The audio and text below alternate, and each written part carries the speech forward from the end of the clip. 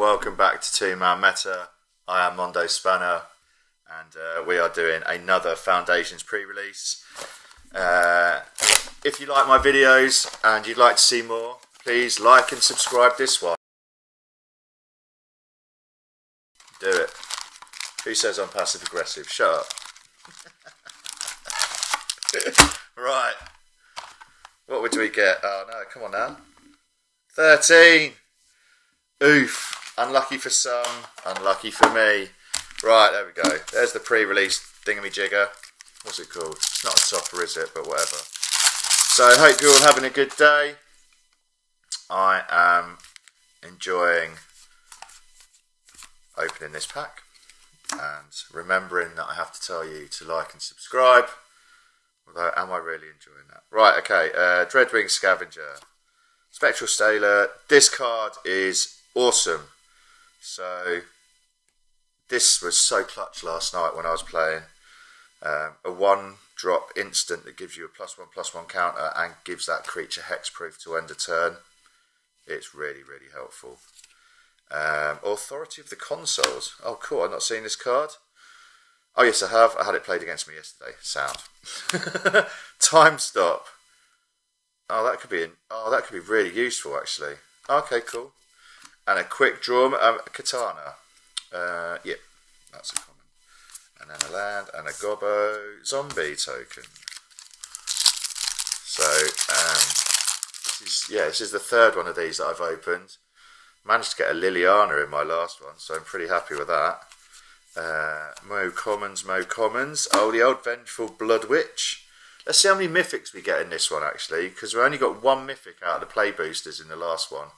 So we want like uh, see if we can get a mythic out of that or multiple myth- multiple mythics out of this. Vengeful Blood Witch, Shivan Dragon, Adventure Gear. That seems interesting. Stormkirk Blood Thief. Not seen you. And then we've got Lathril, Blade of the Elves. Cool. Okay. Okay, that seems pretty good. Uh, involuntary employment, mountain, and a food treasure token.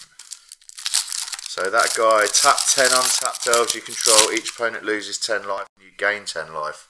I feel like that could be built around. Also, as well, is that that? I'm sure I've seen that ability before.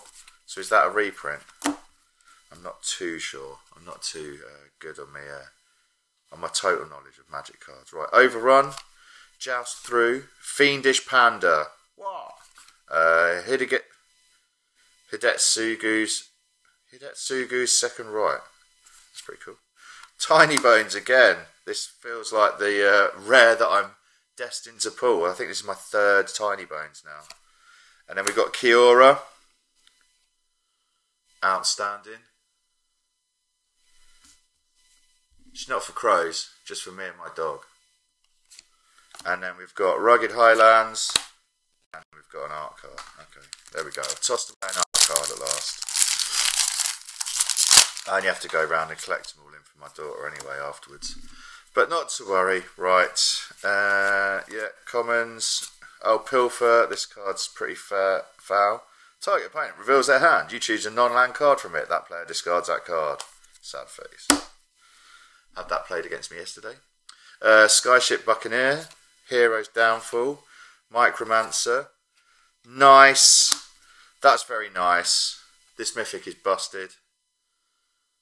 Whenever a creature you control deals combat damage to a player, put a loyalty counter on Kaito. And then whose plus one is up to one tar- target creature you control can't be blocked this turn, draw a card, then discard a card. His minus two is create a 2 1 blue ninja creature.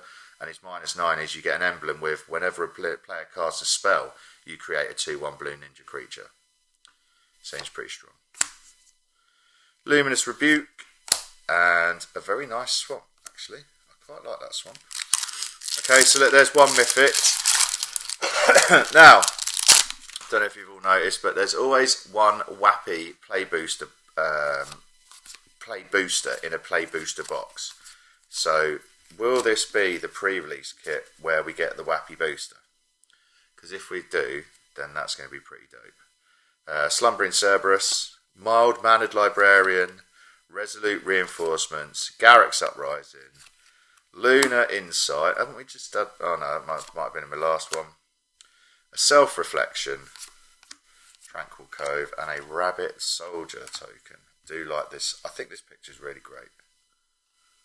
Do like that token. Very nice. Right, moving on. Last. Can we get some mythic magic? Try saying that fast lots of times. Another picture. That's that axe in it. Uh, leyline axe, I think. Okay, so last pack. Commons is done. The old fishing pole. Empyrean Eagle. Don't look like there's anything wild in the back of this.